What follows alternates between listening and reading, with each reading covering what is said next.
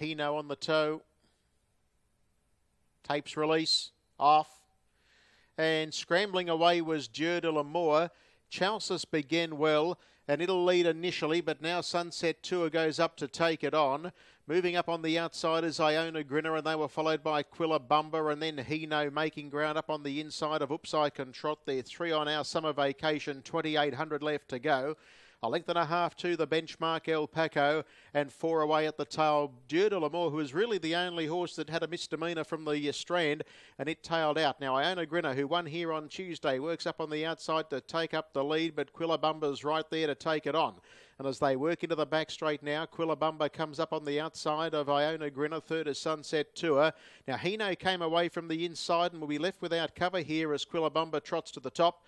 And then came Chalcis, Upsike and Trot, followed by our summer vacation. And then came the benchmark, a length away El Paco. And Dieu de l'Amour is going to save ground up along the inside.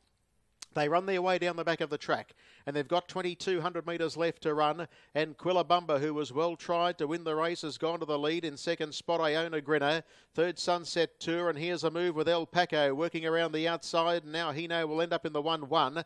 Chalcis four pegs, followed by Upsike and Trot away from the inner.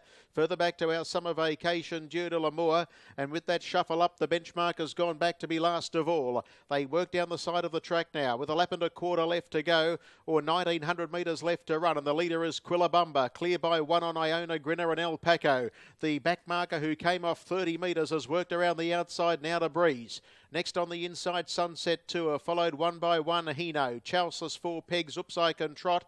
And then our summer vacation and the benchmark and Dieu de l'Amour is last of all. Quillabumba, a real tendency there to roll away from the inside and comes down the straight leading by a length. Second is Iona Grinner. Third El Paco with little change now for the last five or six hundred metres. They were followed by Hino one by one. Lead time was 151.9.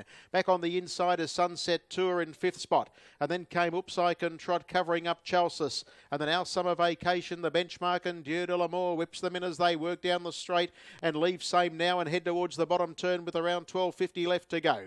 It's Quillabumba the leader. Second, Iona Grinner. Third on the outside, then without cover is El Paco Sunset Tour, and Hino's having a good run now. And then came Upsike and and Chalcis, followed by Our Summer Vacation. Second to last on the inside is Dieu de l'Amour, and last of all is the benchmark. In the uh, back straight they run. First quarter of the last mile was 30.9 in the leader is still Quillabumba. Three quarters clear on El Paco. Third under lock and key is Iona Grinner. Hino stalks the lead trio. And then Sunset Tour, followed by and Trot. Chalcis, our summer vacation, the benchmark. Doesn't want to give them too big a start, so it starts a searching run from the tail. And that relegates de l'Amour to the tail of the field as they approach the 600. Second split was 29.3. 60.2 the half. Quillabumba led, looking for an all the way victory. Shows out by three quarters of a length. In second spot was El Paco. Iona Grinner surging around the outside as the benchmark has the leader in its sight, but it kicks. And then came further back to Hino and Sunset Tour. Quillabumba first to see the judge. Straightens two in front of Iona Grinner, El Paco, and the benchmark is trying to get to them. And then came Hino, followed by Sunset Tour. But Fitzpatrick says ta and this is kicked right away from them. Quillabumba, 28 1 for the third quarter. Down the outside, the benchmark battling it out with Iona Grinner for the minor money, and then came Hino. Sunset Tour is getting a middle split and hitting the line hard